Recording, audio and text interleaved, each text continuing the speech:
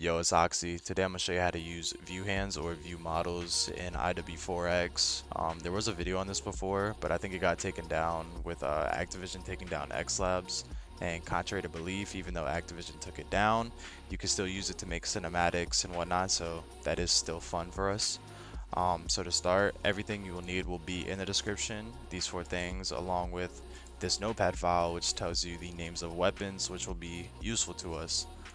So to start off, this hands.fast file, it's going to go in your zone slash English folder in your game files. And this one, the view hands, is going to go in your user raw folder. So I will have those up on the screen just in case. Once you do that, you could just open this in another window if you want to. And just drag it off to the side. Open up the character folder. Scroll down. As you can see, these are all the characters in the game we're just gonna pick a simple one. Uh, so like the U.S. Army Riot, just Control C, just copy it. Then we're gonna go back to our game, go into the whole game, go into your mods, uh, whatever mod you're using. I'm just gonna use my cinematic mod for example. Make a new folder, call it character. Open it and then just place this in there. And then from here, uh, pretty much you're just picking what view hands you want. I just want the airport ones just because I think they look the best. They look the cleanest in edits and whatnot. Then we're going to open up the notepad file. Wherever it says view hands, the two places, we're just going to replace it with the airport one.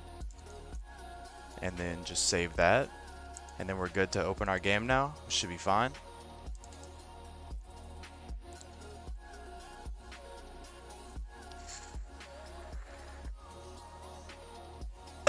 oh shit.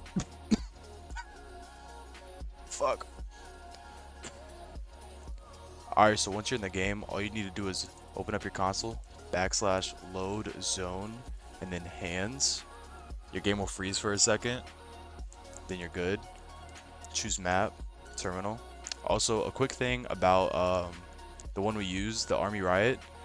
Whatever player you use, that's the class you have to choose in the game. Um, usually the Army Riot is just the easiest one to pick out because it's just a riot shield. Um, yeah, other ones are kind of more difficult to figure out if you don't know what they are. But once you have everything done, once you load it in the zone, just start the game.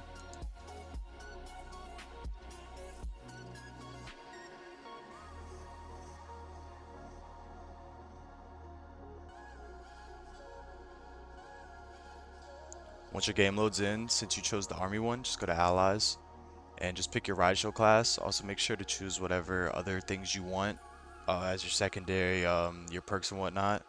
Only thing you need to have is the riot shield. So as you can see, we have the uh, airport hands. Pretty cool. And then, so if you don't want the riot shield, obviously, open up your console, backslash mvm underscore give, and then that's where this list comes into play. And uh, if you want the most basic one, like a intervention, cheytac underscore mp, that gives you your intervention.